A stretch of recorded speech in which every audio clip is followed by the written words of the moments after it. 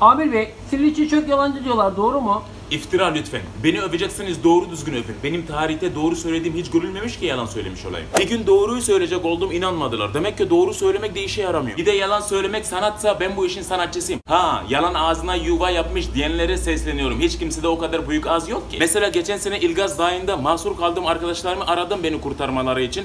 Yalan söylediğimi sanmışlar orada 3 gün götüm titre titre kaldı. Hatta arada yalan söyleyecek kimseyi bulamayınca bankaların müşteri hizmetlerini arıyorum. Kendimi acındırıyorum. Hatta geçen bana biri o kadar acıdı ki kredi çekip bana getirmiş. Anam babam biktiği alanlardan beni evlatlık verdiler. Şimdi beni evlatlık alan aile de beni onların gerçek oğulları sanıyorlar. Çünkü onları da kandırdı. Geçen beni yalan makinesine bağladılar. Makine kendinden geçti. Bir daha çalışmadı. Çünkü devreleriyle oynadım. Mesela daha geçen birini kandırdım. İstanbul Boğazı'nı ona satıyordum ama parada anlaşamadık. En son olarak da yalan paralı olsa gene kredi çeker söylerim. Ha şunu da ekleyeyim ben dolmuşta veremediğim 20 TL'nin üstünü alıp geçinen adamım.